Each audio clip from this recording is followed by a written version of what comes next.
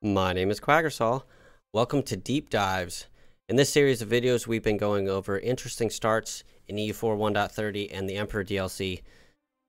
First couple videos, we did France and the Low Countries, Northern Germany, and Southern Germany, and today we're going to be focusing on Italy.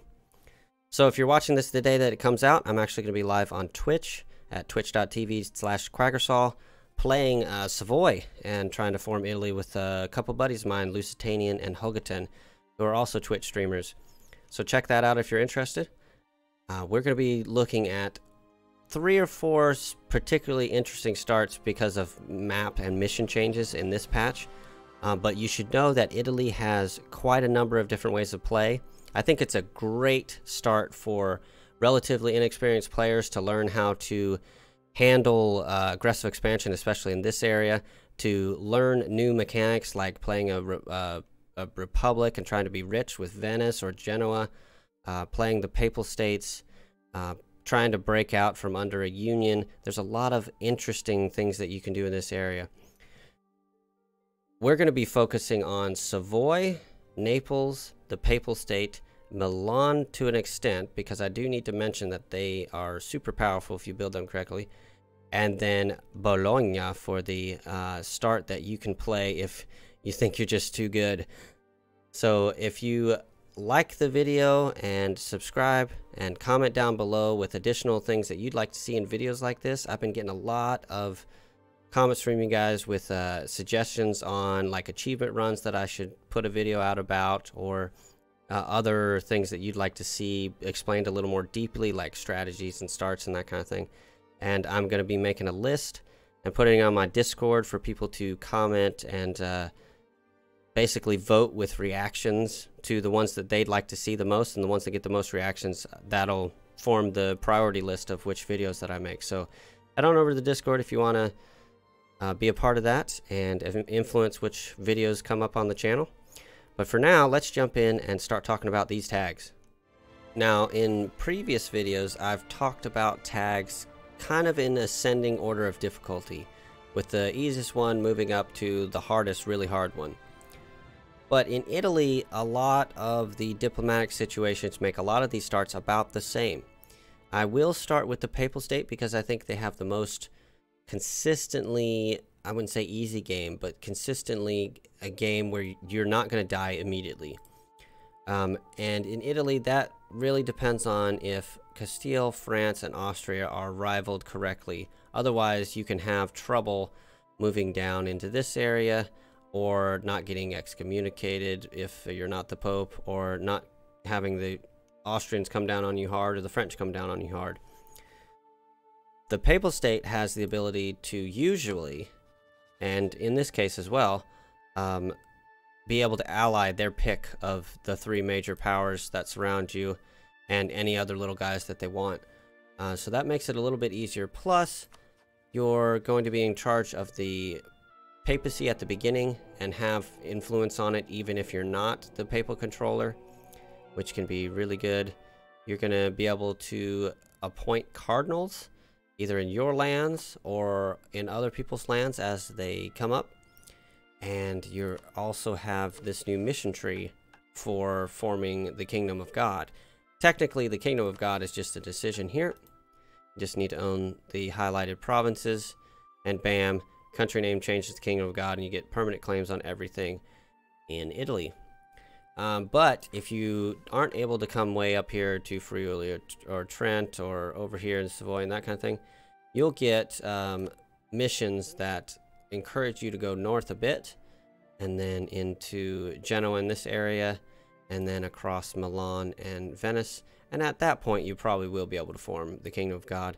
But if you can't, you get these uh, claims on the islands, and then you can have this to get a modifier for basically being Italy. At that point, you definitely have to be the Kingdom of God, although Trent is not included in Italy. So technically, if uh, he doesn't leave the empire and everybody else does, there might be a situation where you're able to form Italy, basically, because you can't form Italy as the Pope. Um, you would have everything you need for Italy, but not have Trent, so you can't do the Kingdom of God. So it's a little interesting uh, little tit. I'm not entirely certain why they do that, but it is what it is. there's a lot of other interesting things with this mission tree, uh, like things like in helping Lithuania or um, helping everybody who's in the the Catholic League in the in the League War, or uh, helping anybody, helping here it is. Everybody get no, that's the one where you get a mission tree. But there's a there's several of these where like all participants count they they buff other people in some places, which I find very interesting. And then there's a few where you go out to Ethiopia, you go to the Levant, get uh, claim. You don't get claims over there. You're just supposed to go find those yourself, I suppose. And then you even if you have Catholics in China or Japan, you can have fun things go on with with the Pope. So that's really cool. Um, you might try to use their initial two starting vassals to help you get a little bit of an edge at the beginning. And of course, you still have this over here that you can release as another vassal if you wanted to do a little bit of a vassal swarm. So yeah, Kingdom of God, Papal State into the Kingdom of God is a really fun campaign. And, and if you are able to unite everything that the Papal State should, you get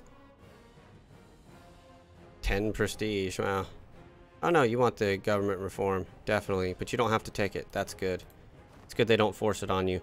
There is a new tier 3 government reform that apparently skips you directly there, so you get to take a tier 2 if you want. Uh, but you, you will not get this before tier 3. Um, that gives manpower and prestige and devotion and stuff. It's pretty good, especially with the appoint cardinals cost. Uh, so you'll still be able to appoint cardinals um, it, it halves it. So it would have been almost 100 ducats for us to appoint ourselves a cardinal. But now we can appoint one for half that cost, which is really cool. And you can now see them on the map, which is a feature that I really love in this update. So try out a Kingdom of God, i.e. Papal States campaign now, and you don't have to get rid of the Pope, which is super cool. Now, moving up to the north, sandwiched between the French and the Empire, is Savoy. So, Savoy is one of my favorite starts in Italy. Uh, their new mission tree gives them a lot of power, and the fact that they have now have two more vassals, they have always started with Montferrat, uh, but now they have Saluzzo and Geneva, um, which is going to give them quite a bit more power. Now, there are some interesting missions and events that start to encourage Geneva to go over to the Swiss and into the Empire. Um, but you can get them back. If you're able to get them back or keep them from leaving, you can push in and even get claims on Burgundy. And if you can kill Burgundy, you can become the Duke of Burgundy. You actually get like a Duke of Burgundy modifier, which is kind of interesting. And if you then try to start role playing as the Burgundians and either claim the French throne or take Paris, and, you're not part of the HRE, you can uh, get a union over France. I'm not entirely sure why you would need a union over the French if you already hold Paris, but it's there, uh, which is kind of interesting. You might be able to get the rest of him. Uh, but the main part of the mission tree has you conquering down into Genoa and down into Sardinia and Sicily, and then getting a union over Naples, which starts as permanent claims, but if he goes independent, you get a union, which is pretty cool. After that, you have the Unity of Italy, which is a diplo annexation cost for the rest of the game, so that's really cool. So yeah, this uh, taking Provence and stuff is going to be needed to get into France as well, which will eventually push you all the way out into here. Again, I'm not certain why you would need a union over the French if you already have Paris and all of this, but hey, um, just the rest of them, I suppose. There doesn't seem to be any sort of equivalent to the Austrian union over Poland, where they they have the Austrians conquer all of this land, but then once you get the union over Poland, he he loses all of his cores in this area so that he you know won't hate you for the till the end of time for having half of his cores. There doesn't seem to be that with the French, so they're probably going to hate you if you do force the union over them. But still, it's a French union, and anytime you have that is pretty strong. Another thing that I really like to see here is this strength in numbers, which gives you relations and reputation. And if you keep going down this, where you get good allies and you have big rivals and stuff like that, uh, you can get Diplo Monarch skill like a lot of it. One on on your guy and your heir now, and two in the future. So that's a lot. So it's pretty cool. And they'll upgrade some forts for you, I like this mission tree right here. If you have some of the Alpine forts, uh, they just get upgraded to the newest fort levels. So I would pop this right after either level 4 or level 6 forts have been uh, researched. Get some free upgrades. That's pretty cool. Now, while just about every tag in Italy can form Italy itself, I wanted to point out Milan as a special case because with the changes in 1.30, Milan can get super buffed. So they have a thing that can happen if your leader dies really early in the game where you can form an Ambrosian Republic, it's called. Then this allows you to have tax, morale of armies, and all it does is take absolutism from you, which is very not useful at the beginning of the game. So this is one of the best tier 1 uh, reforms you can have in this game. And then later, if you keep this for a long time, you're going to get morale of armies plus 10 more. Um, you combine that with a good idea build, especially plutocratic, which has a lot of good stuff in it, and will get you rich and powerful. A decent idea set, which is similar to Savoy's, but I would say a little buffed, especially with the infantry combat ability and manpower there. And a mission tree that is very similar, which uh, gets you into Genoa, and then down into Ferrara and Tuscany, union with Naples happens only if you are a duchy and so are they. They're independent, but without it, you just get uh, permanent claims. You even get to go out against Austria and and things like that. It's a it's a decent mission tree, and it pivots into the main Italian one. So I wanted to mention that because I know some people are excited about playing as Milan and getting them super strong and an Italy that comes from Milan can actually be stronger, even though it's a little bit more difficult start. And you don't get an intermediate tag like Savoy, Sardinia, Piedmont uh, that Savoy has. Now, another interesting start to the formation of Italy is Naples. So early in the game, Naples is a, in a union under Aragon, but if you're lucky enough for the king of Aragon to die, he sometimes, and quite frequently in this patch, will allow you to go independent. And you'll be ru ruled by Afonso de Trastamara once you do this mission, once you do this event here.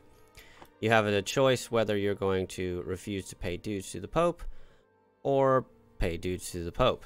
Now, if the Pope is strong and you think he might attack you, might be a good idea to pay dues to him. Otherwise, you can just tell him to F off. Now you're independent. Once you go independent and you come up to strength, you're going to be able to get permanent claims in Tuscany, which is going to bring you down into things like uniting the two Sicilies and claims into the rest of Italy, like there. Even claims over into Greece, down into the Holy Land, over into Aragon, there's a lot going on here. And if you're lucky enough to take this area, you get to become two Sicilies.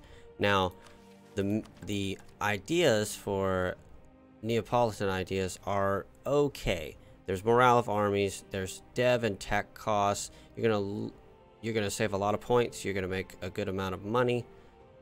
They're not super good as far as military. I mean, morale and manpower are okay but they're not they're not lighting anything on fire. But if, once you switch over to to Sicily's, they do change.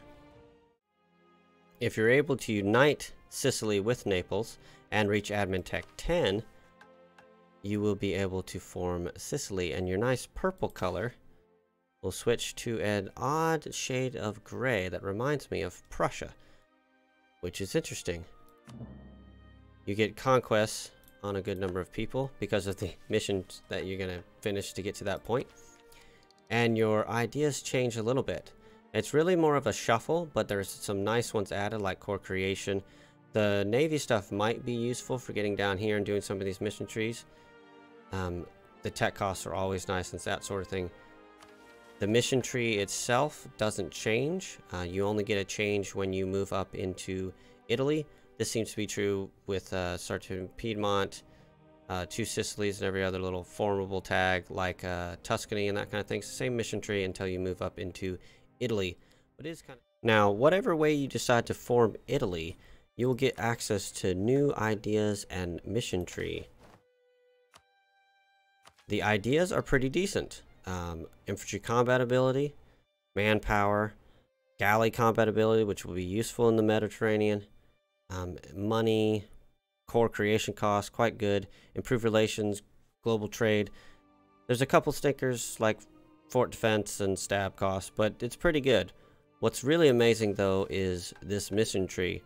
You're going to get things like permanent claims on all of France, permanent claims on all of Iberia, um, the ability to even attack all the way up here to Paderborn uh, for a recreation of the battle in which the Germans beat Julius Caesar, which is interesting.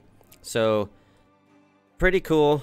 Pivots you into going into Greece, even into the Holy Land, Egypt, Anatolia, all kinds of stuff there. It's pretty cool. Um, one note, if you do form Italy as Milan or another republic like Florence, you will be a republic. But if you form them as one of the duchies like Naples or Savoy, you will be a kingdom. Obviously, you can switch back and forth between the two in the normal ways, between government reforms and despotisms and things like that. But yeah, Italy is a very strong play, and you can set yourself up to be super dense and take on like a late game Ottomans with half his dev and still beat him with just much better troops. I had trouble deciding which tag to highlight as the really difficult start in Italy because there's several. Any of the subjects of Savoy, uh, the Papal States, even uh, Venice, if you count those, although they're not really Italian. Uh, Lucca or Siena or Mantua are also all pretty difficult. But uh, I decided to go with Bologna or Bologna as they call it where I come from. I do not know where the G went. One of the main reasons is the new achievement. Starting as Bologna, become Mexico or Texas. This means that you've got to go colonial. You don't even have a coast. You're way over here in Italy. The Iberians, especially Castile and Spain, is going to get to Mexico before you can. You're going to have to fight your way out of here as a republic with very little prospects for getting to the coast and getting big and you're not going to be able to take military ideas unless you want to delay colonization until way late. One possible way to do that would be to ally France and late game go in against the Spaniards as a basically Italy kind of tag. Although you don't really want to change because you do have to. No, you can. You can form Italy. You just have to eventually be Mexico or Texas. So you have to start as Bologna and become Mexico or Texas. So Italy run is fine. Uh, Italy allied to France, killing the Spaniards might be your best bet.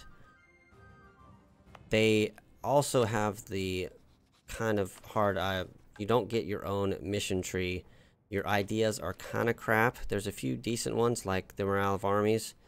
Um, and I suppose core creation costs, definitely. Um, but you have some weird ones like uh, this guy right here, you don't get anything here unless you switch your religion. So I would suggest doing so because you're going to need every little buff you can to break out here. But if somebody could, you'd get to see like an orange uh, Mexico or Texas, which could be pretty cool. So those are the interesting starts in Italy. There are a couple more that I didn't mention. I thought I might touch on Florence, even though they have not received much of a change in this patch. They are pretty cool. They do have a mission tree that is new. Um, it's not too extensive, very similar to maybe Milan or Naples to eventually form uh, Italy. Uh, but they have some interesting things like you needing uh, 12 monarch points a month to be able to start them off and that kind of thing. That's just because they're a republic and you're going to have 666s a lot of times and be able to, because of advisor cost reductions, run a level 3 guy, and that's going to be 12 points right there. So it's not as hard as it sounds. They also get to form Tuscany. Uh, they're a great one to do the Prince of Egypt achievement with, and then come back and form Italy as well. Uh, they can be very fun. I played them a long time ago, but it was way back in like 1.26 or something like that. Um, but I would suggest if anybody's interested here, there's some, a really cool event chain with the Medicis and or however you say its name, where they're burning bonfires and things like that, and early Protestantism stuff, way long before, kind of similar to how the Hussites were not liking the way things were going at the time. But Italy is a really fun place to, to start the game, and I, I would say that the area is more for intermediate to advanced players just because of how difficult it can get as you start to try to expand and the aggressive expansion kind of stacks up on you. But if you're willing to take the chance and you're willing to grow, it can be really fun to play in. Let me know what starts you guys are going to do in Italy. If there's any particularly interesting tags that I missed uh, or mission trees that uh, need to be highlighted a little more, I would love to know. And I'd love to know about your starts in the area. And um, leave a like and subscribe if you want to help out the video and the channel. Come over to the Discord if you want to talk about other videos you like to see or other starts that you uh, did and want to show off. I'm always uh, interested in, you know, going back and forth about cool runs that people are doing. I will see you in the next episode, which is going to be on the Balkans and Hungary. We'll highlight Byzantium and all the other changes that are in the area. I will see you there. Bye-bye.